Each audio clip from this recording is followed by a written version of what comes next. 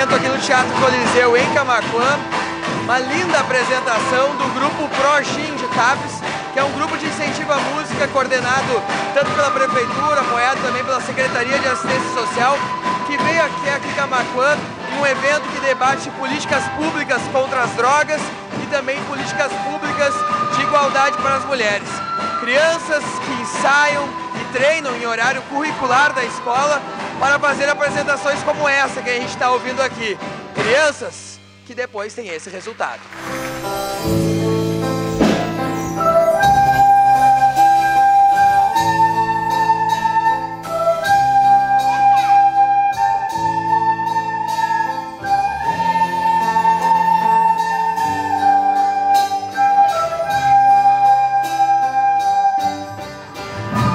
Bom, está acontecendo neste momento aqui no Teatro Coliseu em Camacuã a apresentação do Projinho, projeto de incentivo à música de Tapes, projeto da prefeitura da cidade.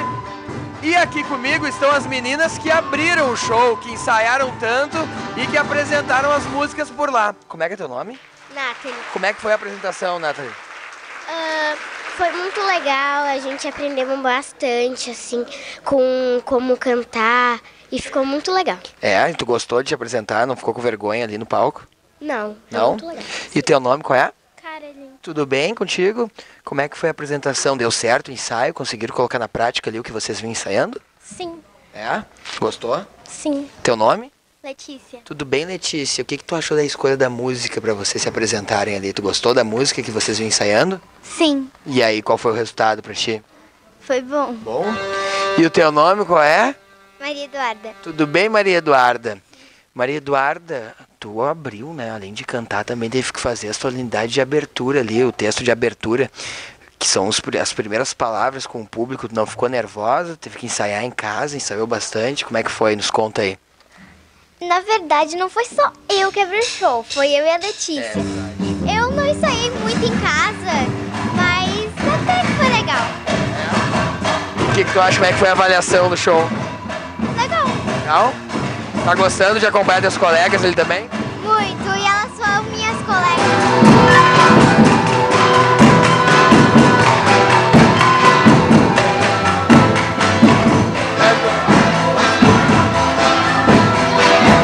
Nos conta, Caim, como é que é a rotina de vocês de, de ensaio, quando vocês ensaiam, onde é, como é que, que tu acha do projeto? Bem, a gente ensaia às quinta-feira lá no Divino, no ginásio, na frente do Divino. O que, que tu achou da, da, da turma, do ensaio? O que, que tu acha do projeto da, da prefeitura que, que acaba levando para as escolas municipais esses músicos, formando novos músicos, né? Bem, o projeto, quando disseram que foi em 2010, eu não acreditei. Achei que tinha sido mais na frente, né? Mas fiquei, é, fiquei bem feliz por causa que faz dois anos que eu tô no, no, no Projin. Daí, daí eu vejo que, daí que o pessoal tão Evoluindo, né? evoluindo. No Projin eu toco gaita, piano e violão. Não canta também? Não, sou meio assanhado pra cantar. É mesmo? Não tá, não tá pensando em cantar também, já que tu te desenvolve tão bem em outras áreas?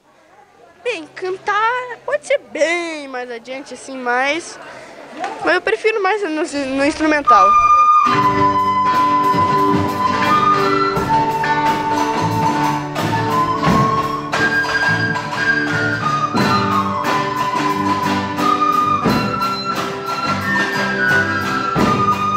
E o que eu ia te perguntar é o seguinte, muita gente que está nos acompanhando agora pelo programa Conexão e vendo essa nossa reportagem, tem alguma criança pequena que quer matricular, quer saber como dar o pontapé inicial para essa criança, e eu queria que tu explicasse como faz e como é a rotina de trabalho do Projin, quais os dias que vocês ensaiam, quais as escolas, nos explicasse um pouco mais sobre isso. Ah, o meu trabalho são, é 40 horas né, de regente de música do município. Então eu tenho 20 horas numa escola, que é a escola Marta, e 20 horas numa escola divina. E isso me distribui as oficinas, né? Então o que, que acontece? Quando a gente faz a matrícula, é, a- o projeto funciona de acordo com a escola. Então começa em março e ele tem, tem um intervalo, janeiro e fevereiro, pelos motivos de, da, de a escola estar fechada.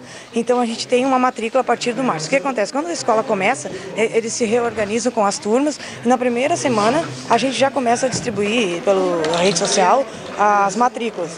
Normalmente acontece de da escola divina ter uma quantidade de aluno maior no projeto, mas não quer dizer que não tenha das outras escolas. É aberto a qualquer escola que esteja. O, o, o que, que é que a gente quer? Que o aluno esteja estudando. Ele esteja na escola estadual ou na escola municipal.